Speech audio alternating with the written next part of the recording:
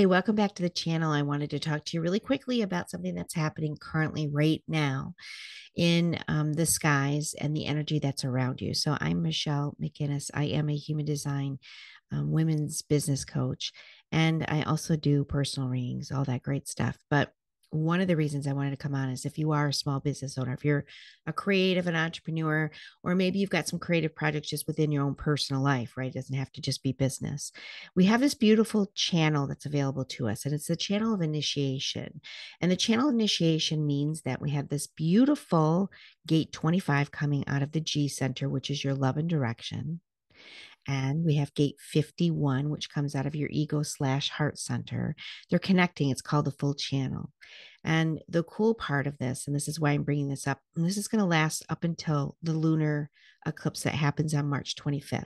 So you've got a little bit of, you've got a few days, you know, this week and this weekend to really utilize this energy.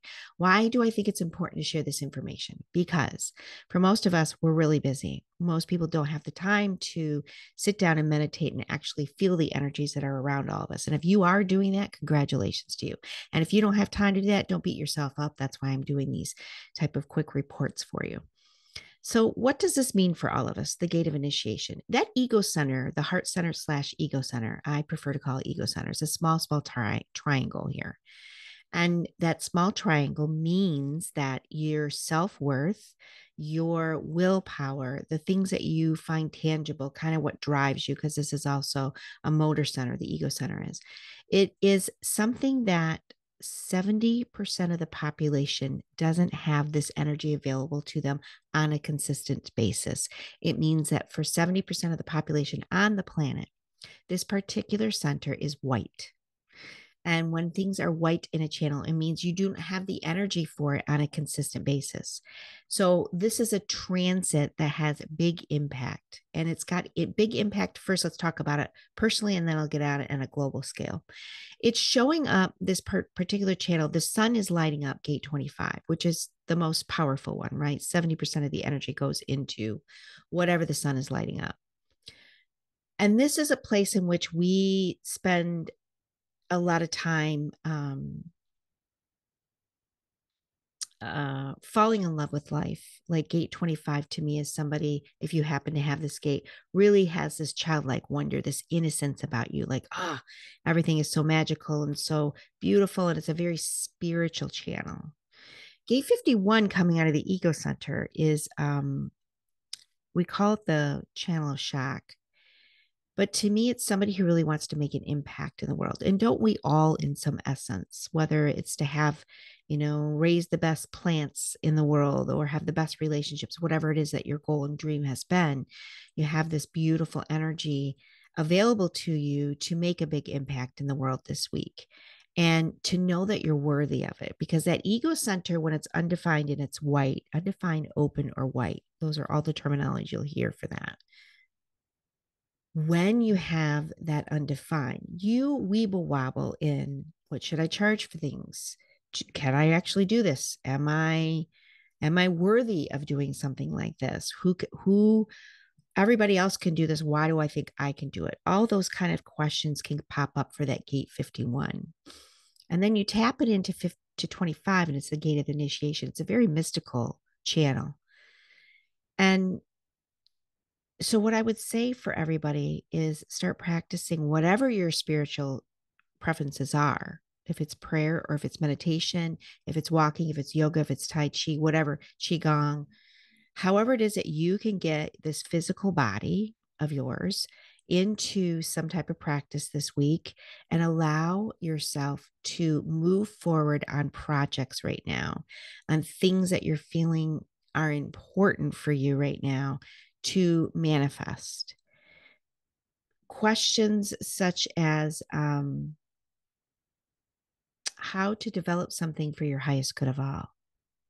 Those are great questions to ask before you go into this meditative state. And the cool thing is that gate 25 is being lit up by the sun, but right now, gate 51 is lit up by two different areas. The north node, which is the place that we're always trying to get to, we're trying to go to, we're trying to develop ourselves in a new way.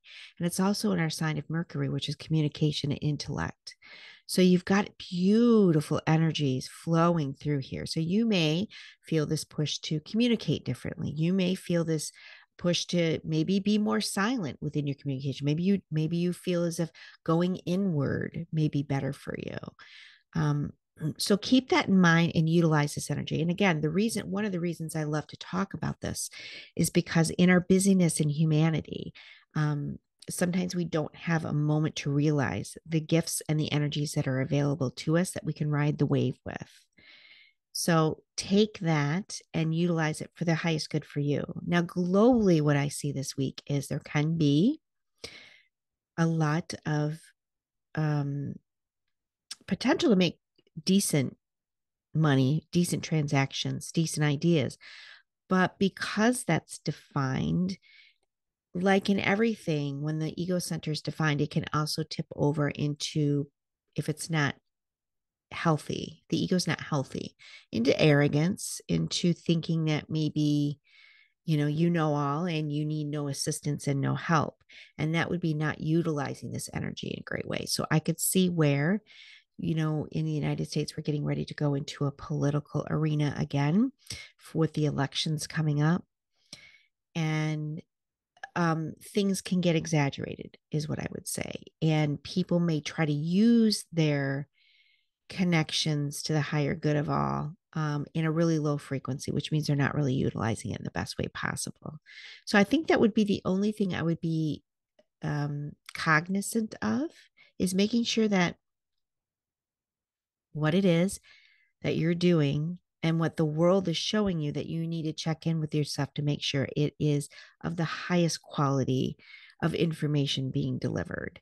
Um, you're kind of seeing that a lot, I think, if you're watching anything on the socials and in regards to like even the king and the queen and the prince and the princess over in the in in England. Um, there can be people who could tip stories right now, as they always can, but it could have a little bit more leverage to it if they're not when people are sharing things that really aren't of integrity this information can spread a little bit more quickly because this type of a channel is active for everybody it's not selective right how we utilize energy becomes a part of our own internal um, structure, our framework, how it is that we want to show up. Are we showing up authentically or are we riding the wave of somebody else's stuff?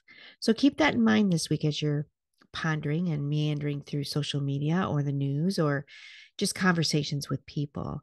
But for the up and up, because I'm always about just sharing about things that are of higher frequency that help us all grow. Uh, uh help us grow and evolve as human beings in consciousness um, utilize this beautiful essence in your own business. See what it is that you may have been hanging out to dry for a while. You weren't sure that you were confident enough to do, didn't know what the pricing should be for something. This is the time to move forward at all of this. And until next time, my dear friends, um, you know, utilize your power, your alignment for the greater good of all. Blessings.